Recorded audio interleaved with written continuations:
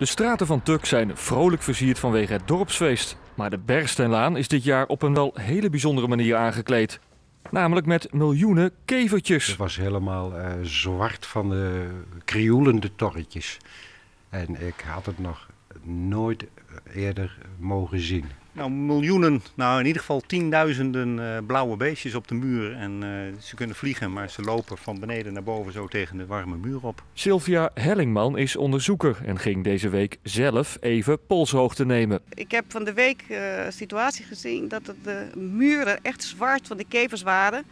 En dan loop je even langs en dan zit je zelf onder, want ze laten zich heel gemakkelijk vallen. Dus ik zat in mijn auto overal kevers vandaan te plukken, want ik zat ook helemaal onder. In Nederland komt het zelden voor dat kevers zich zo massaal laten zien. Insectenkundigen staan dan ook voor een raadsel. Het is een natuurverschijnsel. Vervelend voor de inwoners, want zij komen binnen, ze lopen op het aanrecht, uh, op de barbecue en uh, houtopslag.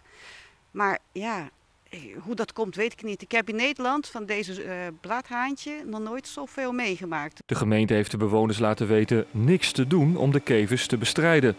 De buurt gaat daarom maar zelf op zoek naar creatieve oplossingen. Ik heb het wel met een stofzuiger gedaan, de andere optie uh, kon ik zo snel niet bedenken. Ik heb ook een aantal keren achter elkaar, uh, nou, misschien wel, wel, wel, zes, acht keer, ja, gewoon dezelfde plek weer stofzuigen. Want ze liepen gewoon de garage binnen. was allemaal hier. Het geeft overlast, dus uh, wat doe je? je? je? gaat ze uh, doodmaken. Vermoed dat zij van de maisvelden komen en uh, braakliggende weilanden. Zij komen op zeuringsplanten uit, polygonionsoorten. En rabarberplanten, die zijn van de bewoners ook al eens opgevreten. Het goede nieuws voor de bewoners is dat de bladhaantjes niet gevaarlijk zijn en dat de ergste overlast waarschijnlijk achter de rug is.